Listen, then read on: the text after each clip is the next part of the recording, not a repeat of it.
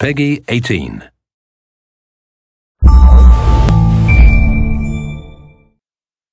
Hi, I'm Dee, and I'm a game designer for Far Cry 3 at Ubisoft Massive. And this is Co op. For the very first time, we're bringing you the opportunity to experience the Far Cry universe with your friends, both split screen and online.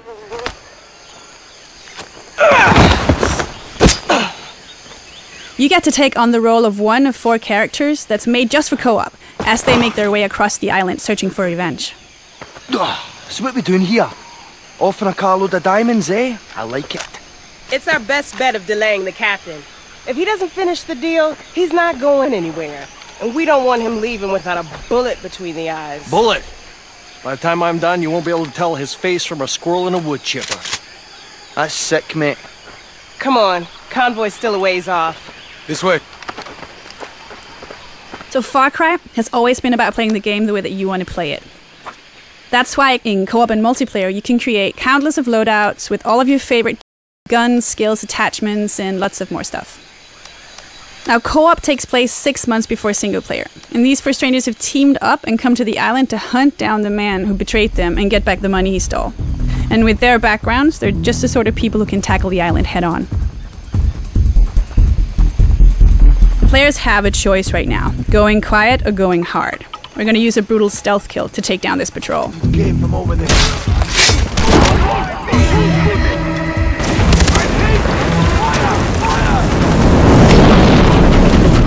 So, we've worked to create a unique campaign with combat scenarios that encourage and reward team play. Here, for instance, the players cover their teammates back while he fulfills the objective. And as you can see, the player is taking a lot of hits. But a teammate uses her battle cry to help him out. The battle cry is a brand new feature tailored for online play, and it's just one of the many additions to the Far Cry 3 co op mode.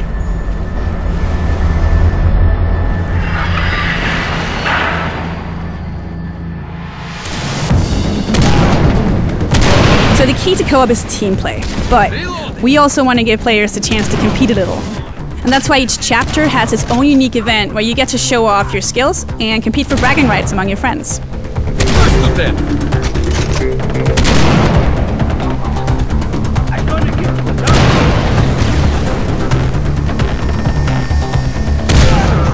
Hands off! He's mine! Another.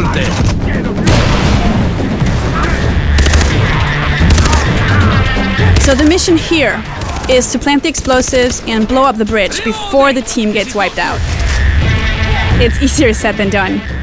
Luckily, when a teammate goes down, you have a little bit of time to get him back on his feet.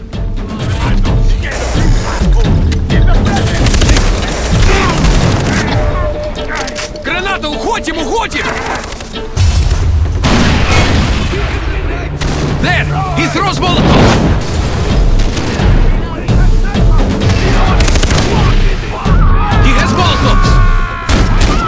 So, um, while a player is carrying a box, he is completely vulnerable. So it's up to the rest of the team to keep him covered. It's one of many missions that we have that's made just for co-op that one player can't tackle alone. So on this island of insanity, only the toughest survive. But you got the advantage because you've got teammates.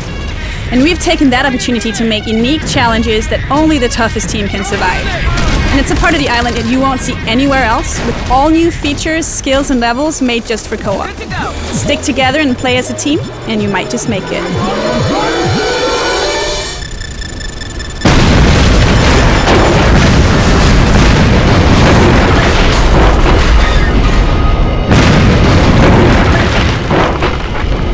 Thanks for watching. Like us on Facebook for upcoming details about the game.